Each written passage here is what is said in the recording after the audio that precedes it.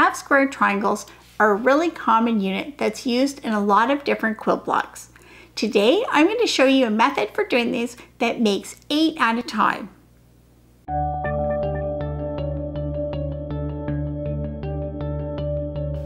Welcome to Epida Studio.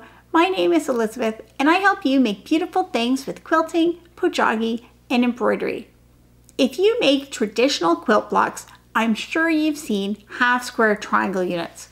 Squares made up of two triangles that are joined on the diagonal. Often these pieces are used in multiples of four, so being able to make eight at a time can be a real time saver. Follow along and I'll show you how to make eight half square triangles. To make the half square triangle units, you're going to need two large squares in the two fabrics that you're making the pieces out of. And these are going to be the finished size of your pieces plus one times two. So in this situation, I want my finished squares to be two and a half inches. So that's without seam allowance, two and a half inches. So I add one to that to get three and a half inches.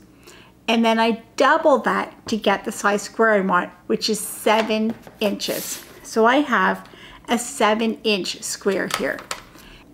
Then on the back of one of them, I'm going to draw some lines. So I'm going to draw a center line in both directions, horizontal and vertical, and then a diagonal line in both directions.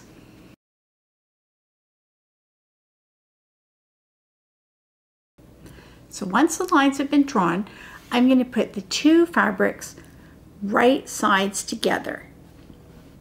Then I'll take it to the sewing machine and I'm going to stitch a quarter inch away on both sides of the diagonal lines only. For stitching, you ignore the horizontal and vertical lines.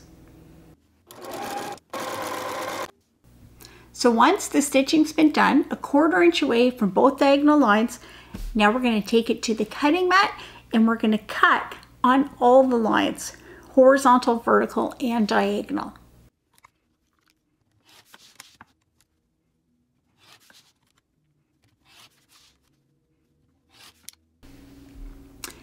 And when they're cut apart, we can see we have the half square triangles. Now take them to the ironing board and press them so that the seam goes underneath the dark fabric. Now we have our half square triangles finished, we just need to trim them down to the exact size that we need. So for these, I want the finished size without seam allowances to be two and a half inches. So I'm going to trim them down to three inches because I have to add the half inch for seam allowance. So using a ruler with the diagonal line, I will line up the diagonal line with the seam and I will trim to get down to the perfect three inch size.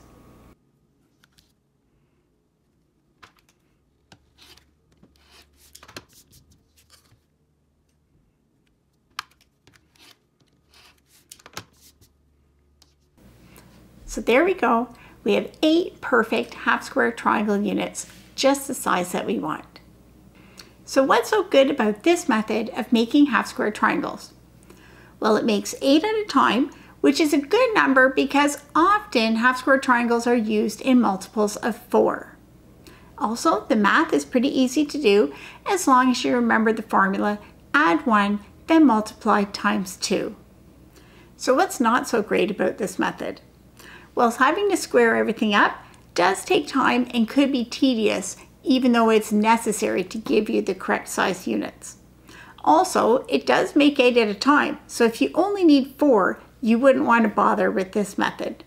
And lastly, if you're working with very large squares and you don't have a quarter inch foot on your sewing machine, it can be difficult to measure a quarter inch away from the line that you marked.